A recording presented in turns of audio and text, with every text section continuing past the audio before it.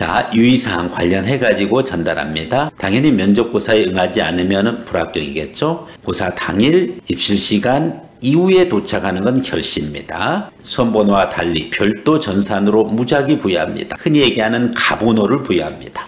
반드시 배부한 면접 명찰을 부착하고 가번호를 부착하고 농협대학교 관계자의 안내에 따라 면접에 임해야 된다. 나머지 기본적인 내용이죠. 대기실에서 기타 전자기기 사용 금지 그리고 면접 시간은 최초 수험생 기준으로 1인이 면접 실에 들어가는 시점을 기준으로 면접이 시작되면 면접실, 대기실 등을 이탈하거나 마음대로 도와서는 안 된다. 일단 면접이 시작되면은 문제가 유출이 되니까 반드시 지정된 자리에 위치해야 되고 심지어 화장실도 함부로 가면 안 된다는 거 전달합니다. 수험생은 면접 종료 후 면접 고사장의 출입을 금지합니다. 문제 유출 위험성 때문에 그러하다라고 이미 얘기했습니다. 그래서 면접고사장 건물에 출입을 금지한다. 수험생 동반가족은 식당에서 대기하시면 됩니다. 합격자 발표. 대망의 합격자 발표는 2월 4일날 네, 이루어지고 등록은 2월 6일서부터입니다. 자, 구체적으로 여러분이 어디로 가야 되느냐. 여기서 농협대를 기준으로 여러분이 봤었을 때 위치 확인해 주시면 됩니다.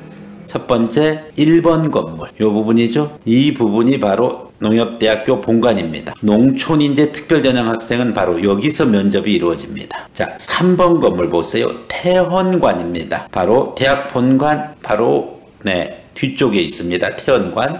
여기서 일반 전형 면접과 전문대졸 이상 특별 전형 면접실입니다. 4번 건물이 있습니다. 4번 건물은 바로 여기에 해당하죠. 이 건물은 식당 건물입니다. 학부모 대기실로 이용이 됩니다. 그래서 이런 점을 여러분이 알고 위치를 명확하게 확인을 하고 해당 건물로 가면 되겠습니다.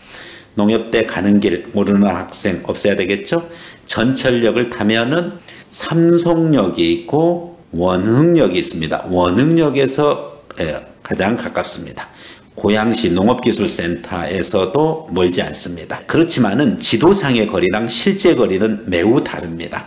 농협대 정문에서도 해당 면접점까지는 꽤 거리가 있는 만큼 미리미리 준비해야 되겠습니다. 농협대에서 밝힌 그와 같은 면접 방식 MMI 면접에는 변화가 없습니다만은 6인 1실로 입장했던 2019년도 면접에서 벗어나서 네, 한 명만 입장해서 세 명의 면접관에게 집중적으로 면접을 받습니다. 그리고 또 방을 이동하여 역시 3명의 면접관으로부터 면접을 받고 마지막 방 까지 동일한 방식으로 세 번에 걸쳐서 10분씩 면접을 받는다. 이와 같은 농협대에서 공고한 최종 공고의 내용을 여러분이 신뢰하고 그리고 이 기준으로 여러분들이 면접의 형식을 이해하고 내용적인 측면 관련해 가지고서는 현재 스판 논술 현장학원에서 모의 면접 강좌가 이루어지고 있는 만큼 이 부분을 충분히 활용해 가지고 연습할 때는 정말 실전같이